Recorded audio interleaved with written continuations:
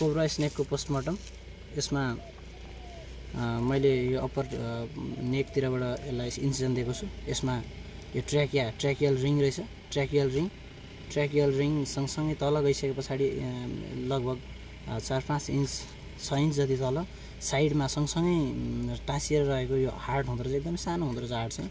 यसको ब्लड भेसल्सहरू पनि एकदमै नगन्य यसो हेर्दाखेरि एकदम साना साना क्यापिलरिजहरू जस्ता देखिने सँगसँगै यो ट्र्याकिया चाहिँ ट्र्याकिया चाहिँ आएर लङ्समा भेटिएको छ। लङ्स एकदमै कपडा जालीदार कपडा जस्तो देखिने।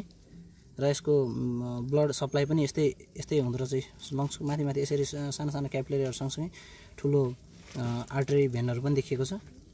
त्यसमा यो जालीदार एकदमै जालीदार यो कडा पनि हुँदो रहेछ।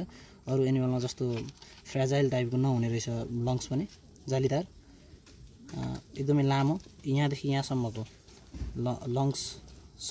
त्यसै गरी साइड साइडमै यो इन्टेस्टाइनको साइडमा जुन जिआई ट्र्याकको सँगसँगै टाँसिएर रहेको लिभर हुँदो रहेछ। लिभर पनि एकदमै लामो।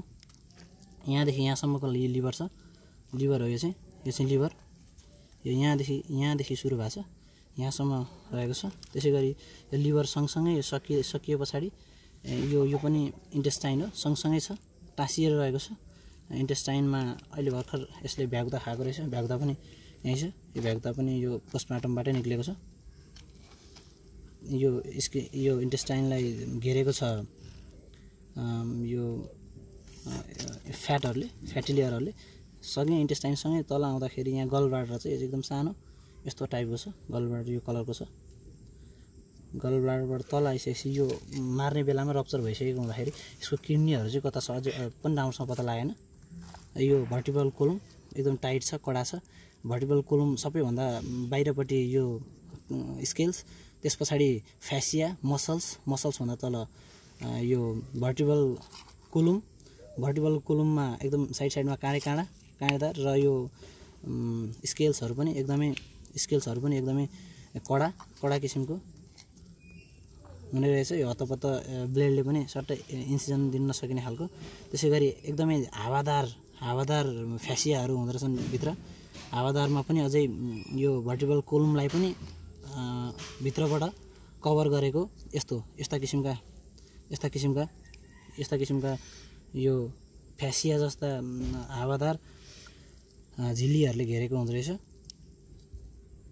यो बिचबाट सप्लाई छ एउटा एउटा लामो ब्लड सप्लाई छ। यो बिचबाट यसमा छ यो फ्यासियामा यो यो ब्लड सप्लाई छ बिचबाट। यसरी यसको एक्सक्रिटरी अर्ग्यान पनि इन्टेस्टाइनको तलपट्टि यहाँनिर निस्किसकेको छ अहिले चाहिँ। यहाँ छ। यसमा यसमा यस्तो छ।